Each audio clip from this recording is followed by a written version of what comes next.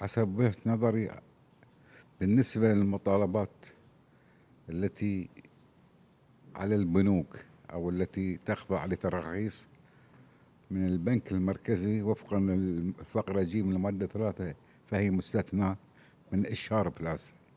لكن أنا أشوف بمفهوم المخالفة أن هناك بإمكانها أن تكون هي مدعية لإفلاس تاجر ما أو شركة ما زين أه تقيم عليه الدعوة بإعادة التنظيم والإفلاس. نعم في اعتراضات وحق ويسمع فيها الرأي ولكن الرأي الأخير للمحكمة متى ما ارتأت أن هذا الأمر يستوجب أن يتم بيع جزء من الأصول. لكن أنا ما أقدر أبيع نص المصنع إذا كان جزء لا يتجزأ ولا أقدر أبيع نص البناية. لكن إذا عنده عدة عقارات أبيع أحد العقارات في لحظة ما أن السعر مناسب والسوق يقبل أن أبيع هذا العقار أحد الأصول وأبتدي أصرف على التركة بهدف إعادة تنظيم الشركة وللوقوف على رجليها من جديد وتوفير لحقوق الدائنين. بالنسبة للقضايا التي انتهت وابتدت الأحكام تنفذ عليها.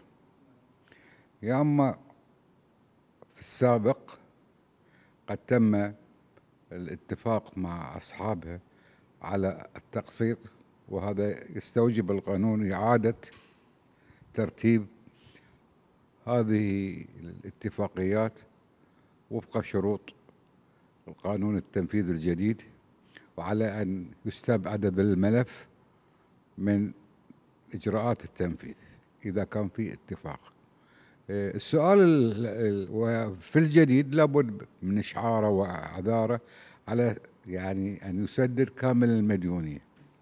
في حالة مثل ما تفضل الدكتور علي عدم إمكانيته على السداد بعد عذاره على السداد عليه أن يلجأ إلى طلب تنظيم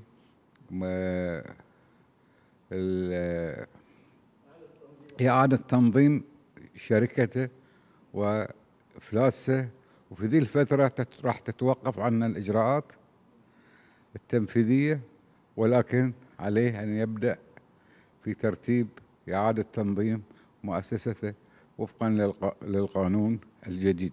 يعني راح يجبرك. أما إعادة تنظيم أو تصفية اللي المشكلات التي لم تصل إلى القضاء فأنت في أريحة معينة ممكن يعني الأخذ والعطاء مع الدائنين على ترتيب السداد على تسويات على عقود صلح على مقاصة على يعني كثير من الأشياء على الاستمرار في العقود القائمة. على إشراك في كذا شغلة. إنما إذا نقول بس لديها إشكاليات أو تعثر والهدف اللي أعطاه القانون ذي الجديد أن يوقف عنا إجراءات التنفيذ.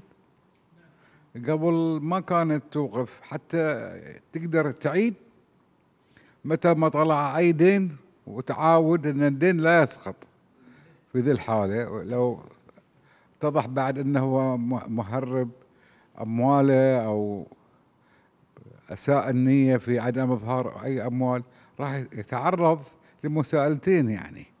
مساءلة الإجراءات التنفيذية عليه ومساءلة الجنائية في هذا الصدد. ويمكن بعد يفقد سمعته التجارية آه، يعني في هذا الأمر. وقد يحرم من بعض ممارسات في الحقوق المدنية مدام هو مفلس.